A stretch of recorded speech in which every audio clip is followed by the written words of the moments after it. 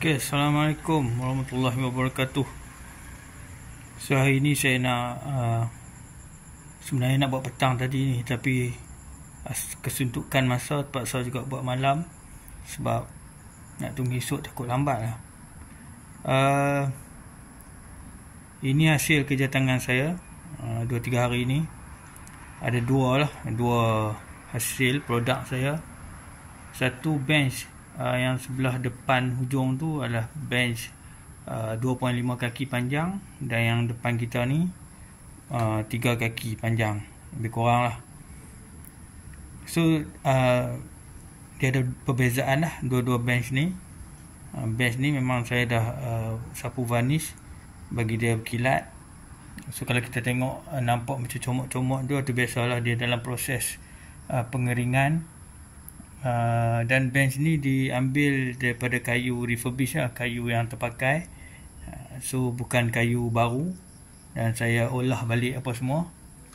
So kalau kita tengok uh, dua bench ni yang belah kiri ni uh, dia agak simple lah saya buat. So saya just apa orang cakap uh,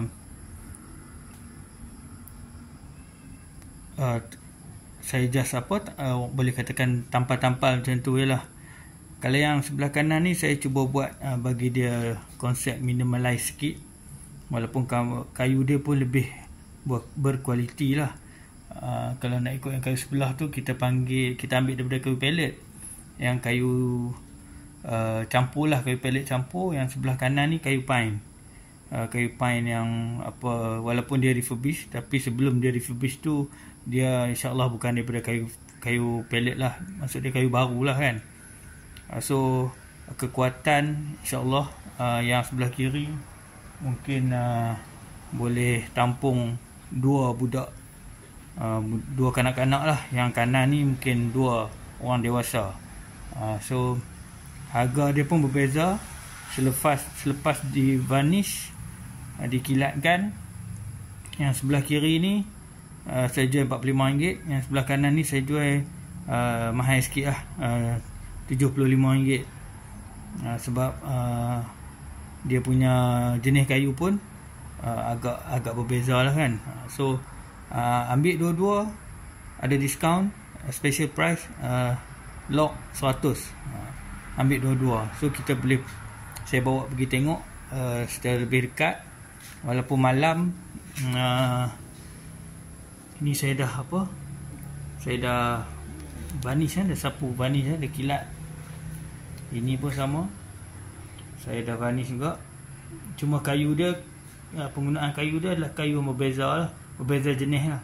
Ha, bukan kayu pine kayu pine pun ada sikit. Ha, yang lain-lain tu kayu jenis-jenis lain lah. Yang saya pun tak pasti jenis apa. Ha, tapi kayu yang berkualiti insyaAllah ha, bukan kayu tropika. Saya rasa lah. Semua kayu ni kayu sama ada kayu dari tempat sejuk ataupun kayu daripada negeri Jepun dan sebagainya lah. So kita boleh pergi tengok.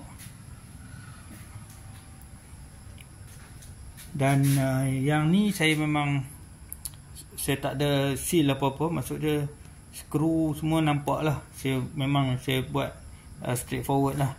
Uh, so saya just uh, apa Uh, saya just ascending bagi dia licin dan saya sapu uh, varnish compare dengan yang ni uh, semua skru saya dah uh, orang cakap saya dah palam lah saya dah seal tak nampak.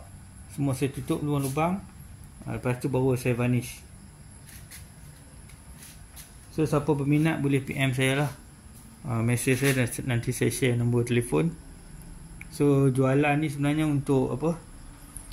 Cakap terang untuk kelangsungan hidup lah. Sementara nak tunggu dapat kerja ke apa kan.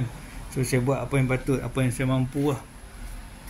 Uh, so kalau kita beli dengan kayu yang baru maksud dia uh, custom made ini pun custom made juga kan. Kalau kita custom made dengan kayu baru harga tak sama lah. Harga akan jadi uh, insyaAllah mungkin double. Sebab saya kena pergi beli kayu baru uh, kayu baru pun dia punya uh, bukan kualiti dia punya apa orang cakap uh, surface tu pun lain lagi cantik lah. Uh, tapi yang ni kita boleh katakan untuk konsep rare lah. Maksud dia uh, kita tak nak konsep uh, simetri contoh semua tepat tak. Dia macam kita buat bagi nampak macam agak klasik sikit uh, dan mungkin agak rare sikit uh, dan dia memang uh, macam orang cakap apa kalau masak tu kita campak-campak-campak lah jadi makanan lah. macam tu lah lebih kurang. Ok so uh, dah masuk masuk waktu maghrib. Insyaallah uh, kalau yang berminat boleh PM Assalamualaikum